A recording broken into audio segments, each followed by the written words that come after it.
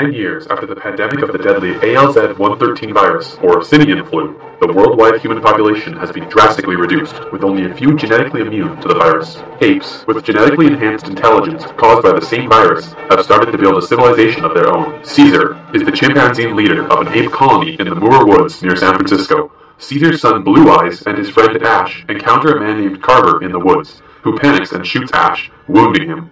Carver's party, led by Malcolm, arrive while a number of apes join Blue Eyes and Ash.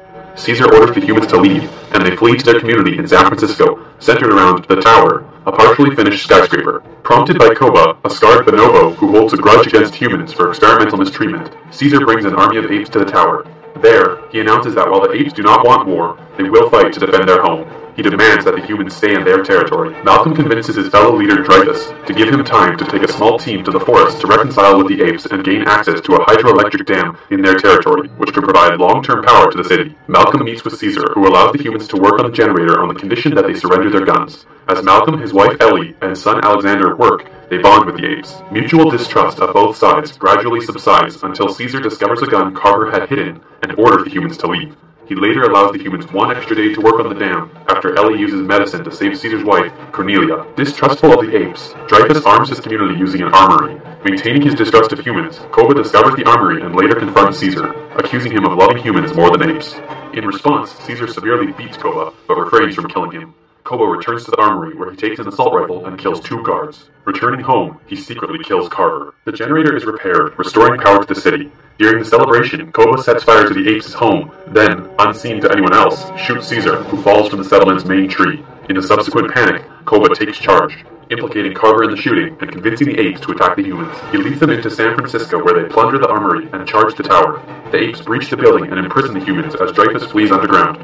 When Ash refuses Koba's orders to kill unarmed humans, citing Caesar's teachings, Koba kills Ash and imprisons any apes still loyal to Caesar. Malcolm's family finds Caesar barely alive and transport him to his former house in San Francisco. Caesar reveals that Koba shot him, realizing that apes can be as corrupt and violent as humans. When Malcolm sneaks into the settlement to find medical supplies for Caesar, he encounters Blue Eyes, who spares him before learning that his father is still alive. After reconciling with Caesar, Blue Eyes returns to the tower and frees the imprisoned humans and apes. Malcolm leads the apes into the tower, where he finds Dreyfus. He learns that the return of electricity allowed Dreyfus's men to make radio contact with survivors at a military base, who are now coming to fight the apes. Caesar confronts Koba at the top of the tower. As they fight, Dreyfus detonates C4 charges that destabilize the tower at the cost of his own life. Koba starts shooting at the apes, but Caesar tackles him off a ledge. While clinging on a metal girder, Koba is rejected as an ape by Caesar and is dropped to his death. Malcolm and Caesar acknowledge their friendship, with Malcolm warning of the approaching human military. Caesar warns that the humans will never forgive the apes for their attack, and convinces Malcolm to leave with his family. Caesar stands before a kneeling mass of apes, awaiting the war to come.